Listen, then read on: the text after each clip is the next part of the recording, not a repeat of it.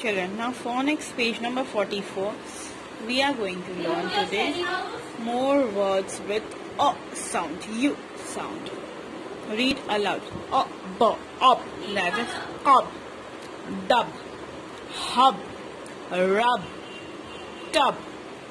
Odd words. Bud, cud, mud, og, hug, rug, lug, Page number Tuck. 240. then 45 um that is gum. Mum. Hum. Some then we are having onwards. Fun. Gun. None. Pun. Then at. That is but. Jut.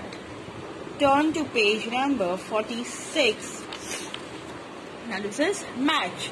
Match the words with the picture what you see over here this is a tin तो यहाँ पे tin है तो आप क्या करोगे you will draw a line towards tin now what is this it's a hut so you will draw a line to hut now this is a igloo Page number 240. oh, sorry this is a den so you will draw a line over here now this is a What is this? it's a cord so you will join a dot here Then this is a bib. So here is the bib. Jug. You will draw a line here. Mat. So you will come to mat.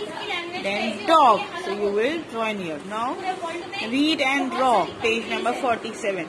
Read the word and draw the picture. Fig.